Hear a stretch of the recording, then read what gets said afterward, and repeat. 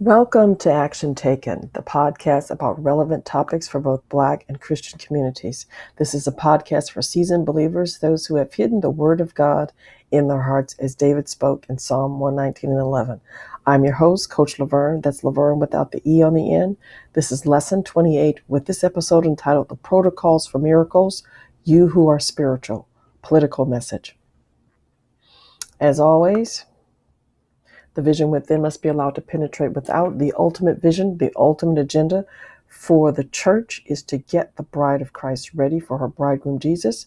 There may be other faith projects we will have to invest time in and in our generations, but until you see the heavens crack open and the trumpet sounds, the vision for the body of Christ will always be to have his bride ready for wedding and on time.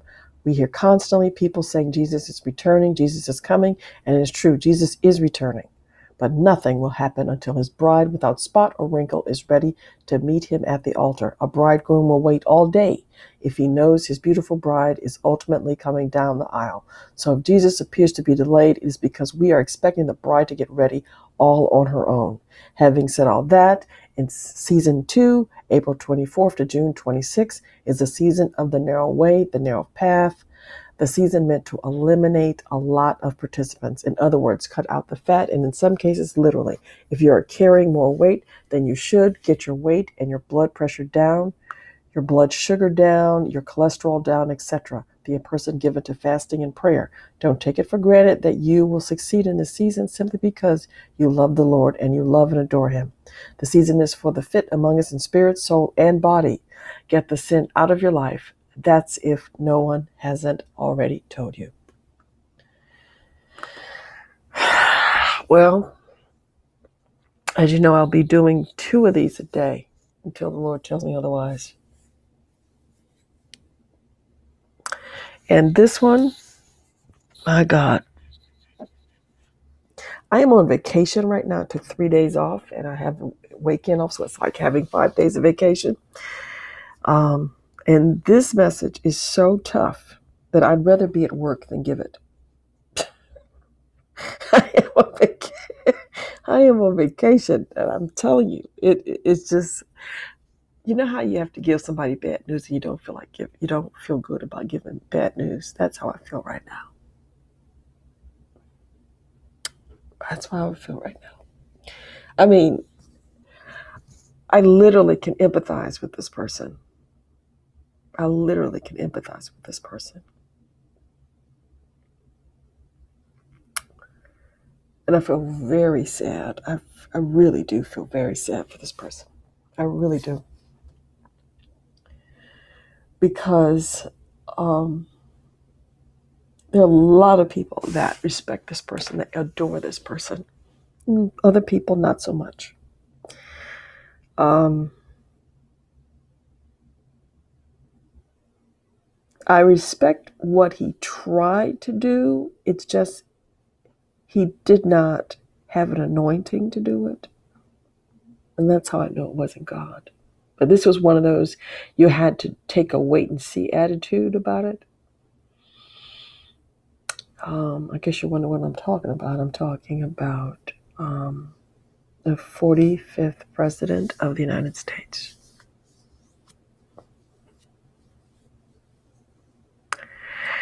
And it's not his fault. This is not his fault. What got him to go down this path to the presidency is not his fault. But I'm going to walk you through some things. It's only three points, it's real short. And um, yeah, I'm like, I'm not I'm really not pleased with this. Um,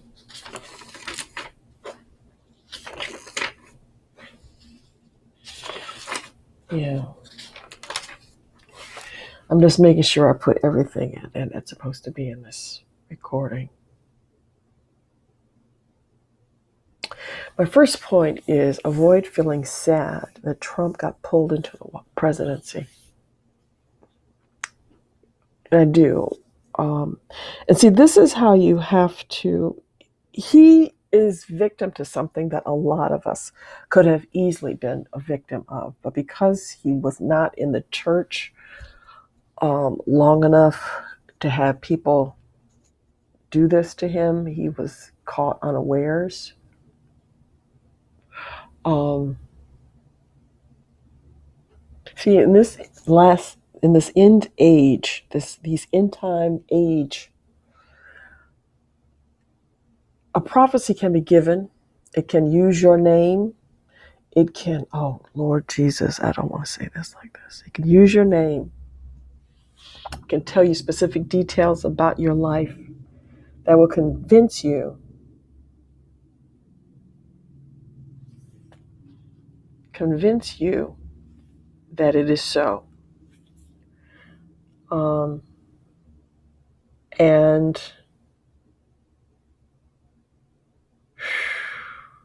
wow, my God.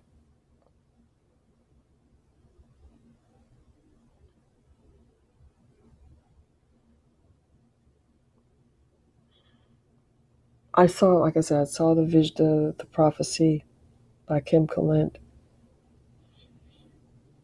and I hear the other prophecies that other people give.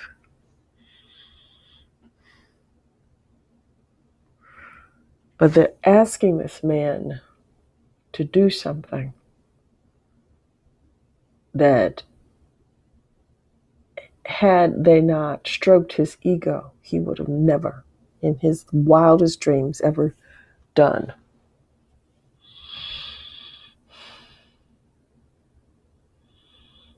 And there are many people around this country willing to bow down to this prophecy.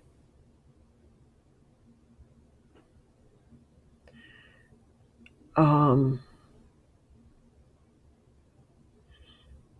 there's a lot of talk about him coming back into the White House in August of this year. And that would mean there would be no election. That would be there would be some sort of military coup. Um, that would mean there would be a lot of bloodshed. That would mean that the Constitution and all that it stands for will be made null and void. Um, that would mean that all those who say they love this country and the Constitution and all that it stands for um, have converted their love into something else.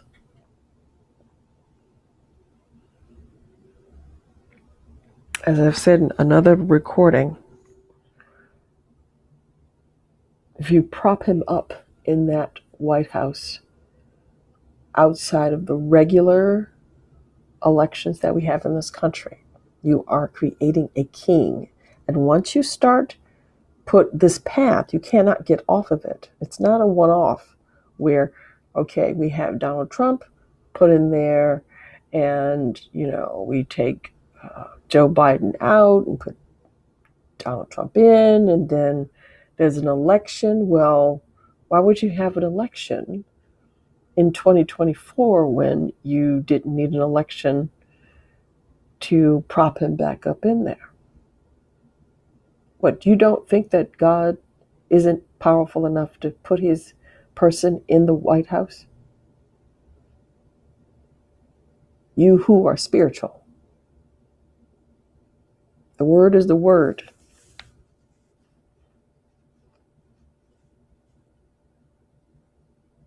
Okay? So, wow. But although I feel sad for him, and I empathize with him because you can get pulled into some stuff. If you let people give you these prophecies and you don't have an ear to hear of your own where you can go and discern this, and all you're using is your intuition, you can get pulled into something that your life will be shipwrecked. These is church people that'll do it to you. And so what if they have money? Who knows how they got that money? And um, the prophetic is at times very pathetic because it will leave people in such a devastated state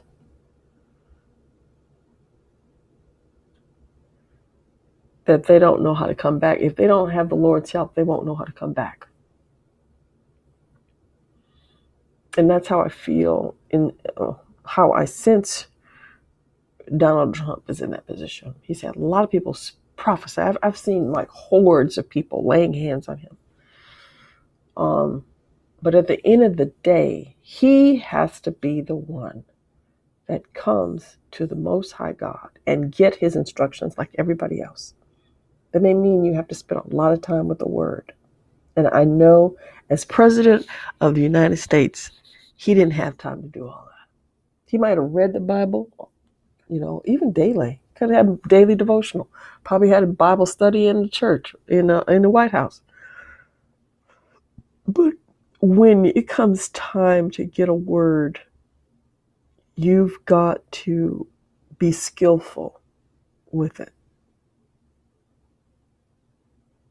Coming from a person who has, in many times, shipwrecked her own life because she did not stay in the Word, was in the Word and out of the Word, and in the Word and out of the Word. Um, yeah you can shipwreck your life and then you're hearing these prophecies and they may be accurate but if you're not the rest of your life is not aligning up with the word. It you you find you can find your life shipwrecked. So I, I, I empathize, not only just sympathize, but I empathize because I can picture myself in that situation where if you don't have an ear to hear what the Lord is speaking, and you have to go on your own intuition where your own i mean and this is the thing about donald trump is a very intuitive person very intuitive. I don't take anything from him. And um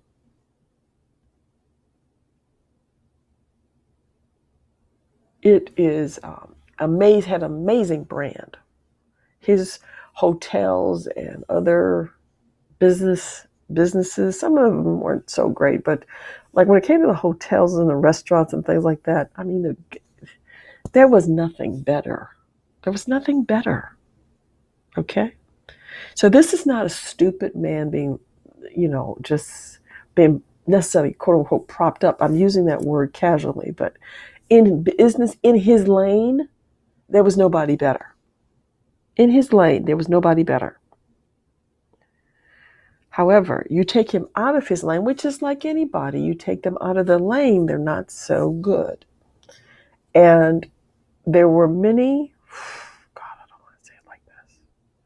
I wanted to say it deceptive people who may not have been deceptive with him, but they have been deceptive with others, and their gift, oh, Jesus, betrayed them. And the one time they needed to speak, I'm not even going to say anymore. I'm just going to go on to the next thing. Um, deal with President Trump, Trump receiving bad advice that got him into the White House is the same advice that would encourage him to break the seal of the Constitution. They're talking about putting him back in the White House in August.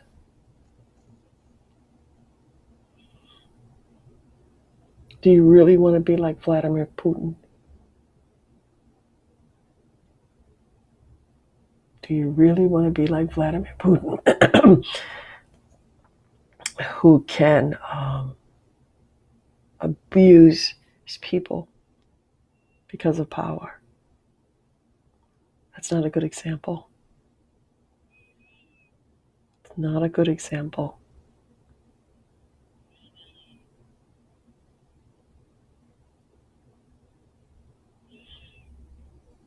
And when you take that oath of office as a president, the first thing they say to you is Do you uh, promise to uphold the Constitution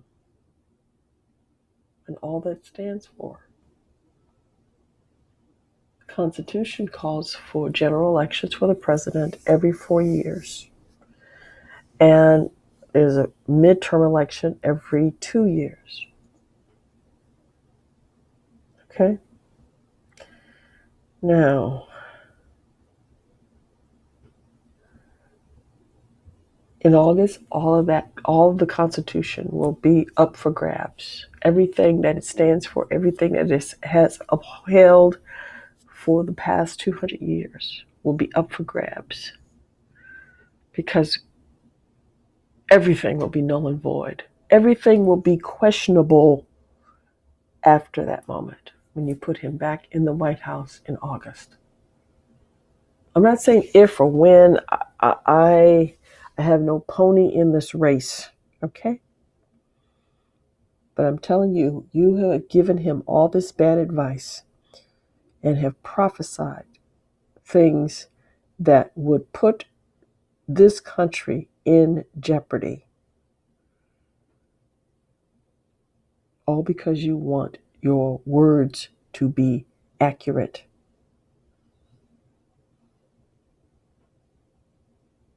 You're willing to make a man upend this country just so you can be right. You would cause the people to rise up like something from the French Revolution.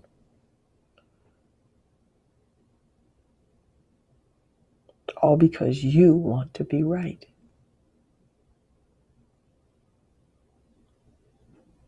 So, if you cause him to break that concert, the seal of that constitution, once you get him in, you better keep him in. And you go, you think you're busy now? You're going to be prophesied night and day. Because there's a reason why politicians, when they are in college, many of them, not all of them, but many of them, take political science because politics is a science, not an art, science. You have to know about balance of powers. You have to know about the extent of the Constitution. You have to know which each branch of the Constitution stand for and how far its reach goes for each branch how they all balance each other. One is not more powerful than the other. There's a reason for all of it. But if you put him back in there in August, all of that is up for grabs. And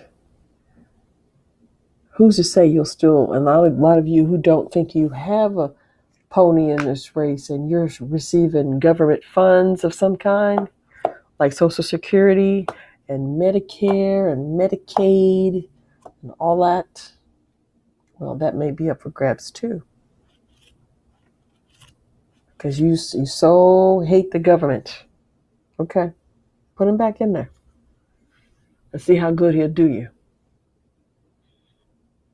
All you if sit there, I'm gonna put my life on the line. Okay, go ahead. Put him back in there. See how good he'll do you. Because the way things are is made not for poor people and not for middle class people. This country is made for wealthy people. You don't have any skin in the game to be climbing up the side of a building, scaling it, disrupting things. But if you want to, go ahead. Let's just do our summary. Avoid feeling sadness that Trump got pulled into the presidency. Wasn't difficult to pull him into the presidency. See he'd been dancing around the idea for some time. Um, it wasn't easy. It wasn't difficult to persuade him to do it. But the primary thing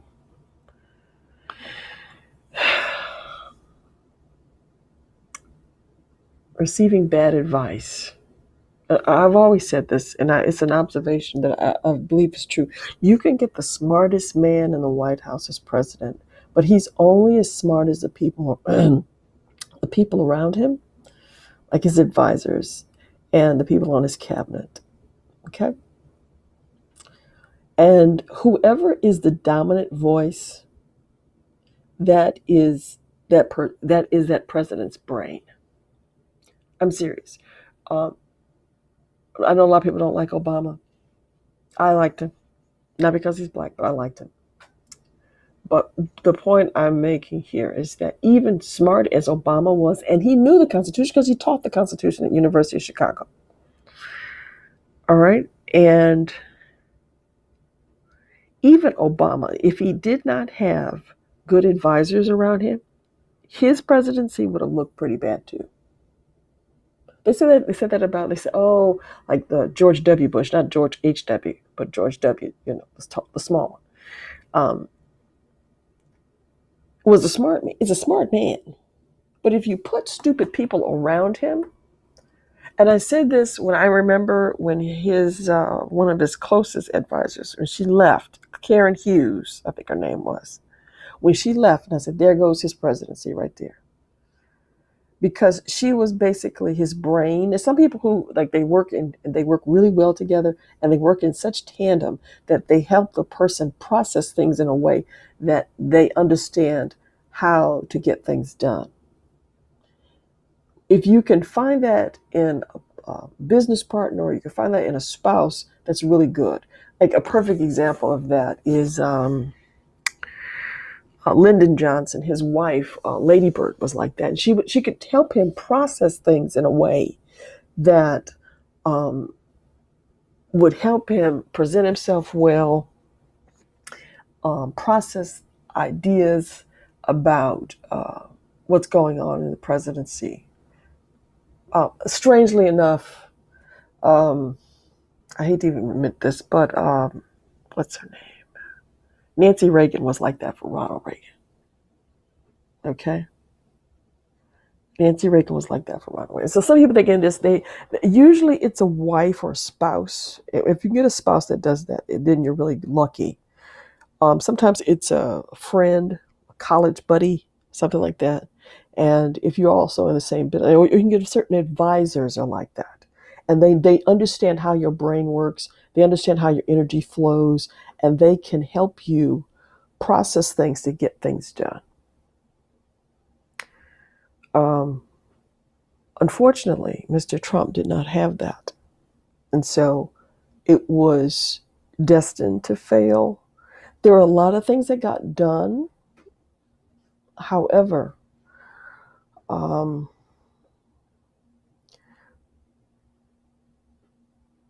there wasn't the kind of you know, people think, oh, well, just running the pre- the presidency is like a business. In some ways, yes, but it does have the the um, limitations of the Constitution, which you have to uphold because you're the president. That's what you agree to when you put your hand on that Bible on inauguration day. But um, yeah,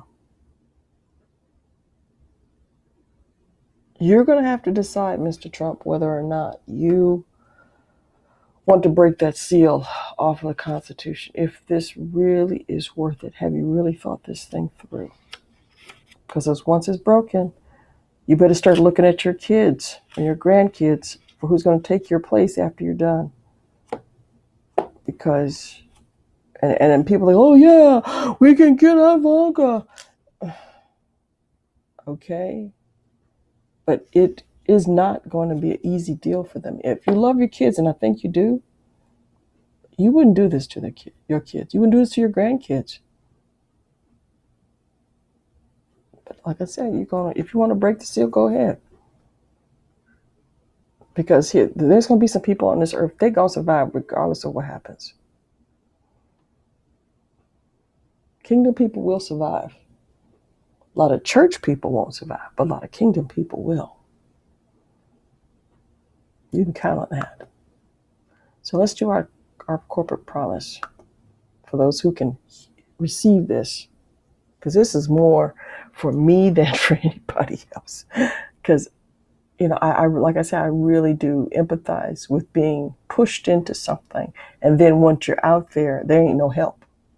You need the help of your own Holy Ghost speaking into your own life, and that was not something that Donald Trump had opportunity to train himself in. This is being a Christian is not an easy job. And you have to have a hearing ear. You have to be able to flow in the prophetic. You're a very intuitive man, but you did not have your prophetic ear opened before you went into the White House. Okay. I mean that the presidency is a job that's hard anyway.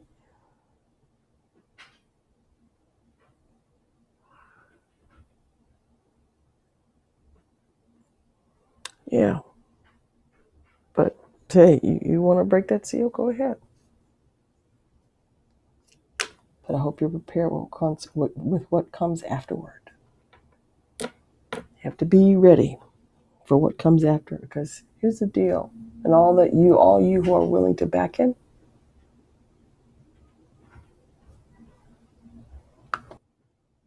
you have to keep backing him. It's a hard way to back somebody when they can't stand on their own two feet. So i'm not going to worry about you no more. I may talk about you some more not in a cold cruel way but you who are spiritual who should have guided him and led him You're going to have to keep praying for him. Not so he would be strong and tough, but that he'd be humble and that he would have a hearing ear. And restore him because he's about to commit a serious, serious sin. But you who are spiritual, really spiritual, not the ones who pretend to be spiritual, but you do all this dark stuff in the behind the scenes. And then you want to get and prophesy in the president's ear and lead him off course. Because you got a cute little waist and big boobs. Let me just read this and be done. I will help you to avoid feeling sadness that Trump got pulled into the presidency. I will help you to understand that he had been flirting with the idea of running for the presidency, so it wasn't difficult to persuade him. I will help you to deal with President Trump receiving bad advice, which got him into the White House. It is the same bad advice that would encourage him to want to break the seal of the Constitution. I've spoken it, and it shall surely come to pass. Um, that's all I have for you today. I'm your host, Coach Lavern. That's Lavern without the E on the end for action taken. And if you didn't know, this podcast can only also be viewed on YouTube in its entirety. So if you watched it on YouTube, don't forget to like, subscribe, and select the bell notification for when new action taken podcasts drop. Our next broadcast is June 13th. Have a good and prosperous day. See you soon.